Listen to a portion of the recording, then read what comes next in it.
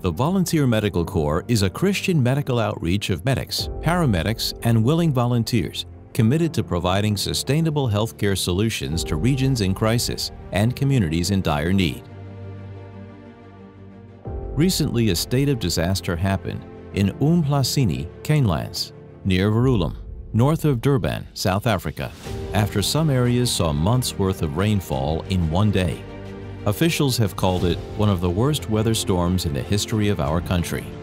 Mudslides have trapped people under buildings with more floods expected.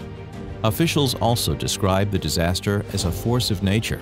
In line with our vision to provide medical aid, relief assistance, and sustainable healthcare solutions to disaster-thorn regions, members of the Volunteer Medical Corps, in collaboration with the local Red Cross, stepped in to provide food supplies, relief items, and medical support to those in need.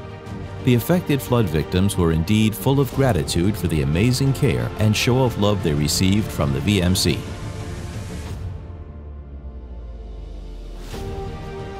For more information to sponsor a disaster relief mission, kindly visit the link now showing on the screen.